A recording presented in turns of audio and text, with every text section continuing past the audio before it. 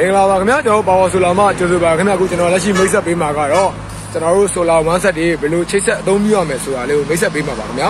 ချိတ်ဆက်ပုံချိတ်ဆက်လေးပေါ့လက်ရှိမှာတော့ကျွန်တော်ဆိုလာ150ဝက်တစ်ချက်ကိုကျွန်တော်တို့အားနဲ့တေးပြမှာပါခင်ဗျာပထမဆုံးအနေနဲ့ကျွန်တော်တို့ဒါမင်းကုန်းရှိသွားပါပြီဒါကတော့ပထီပါခင်ဗျာပထီကိုကျွန်တော်တို့အင်ဗာတာနဲ့အရင်ဆုံးချိတ်ဆက်ပါပါခင်ဗျာဒါလက်ရှိကတော့ဘယ်ဒီကိုအနီလေးမှာကျွန်တော်ချိန်ပြီးသွားရင်နောက်ထပ်အမဲလေးထပ်ချိန်မယ်ခင်ဗျာ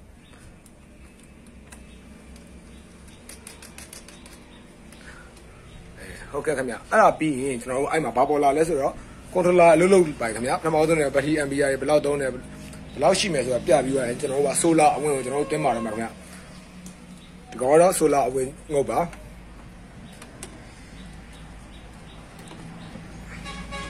ကျွန်တော်ဘေကာစတင်လိုက်ပြီနော်ဒီမှာ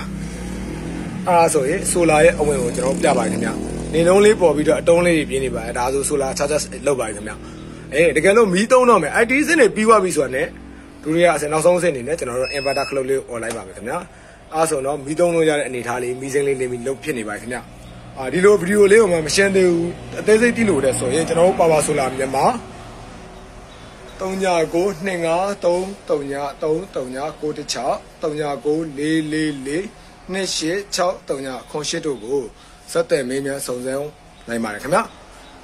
တကယ်လို့ကျွန်တော်တို့ဒီပုံစံမျိုးလေးတွေစိတ်ဝင်စားတဲ့ဆိုရင်လည်းကျွန်တော်တို့ power solar မြန်မာ3995303096 399433လုံး2860ခုရှိတဲ့ကိုစက်တဲ့မင်းများစုံစမ်းဝယ်နိုင်ပါခင်ဗျာအားလုံးမင်္ဂလာရှိသောနေ့လေးဖြစ်ပါစေခင်ဗျာအားလုံးကိုကျေးဇူးတင်ပါတယ်ခင်ဗျာ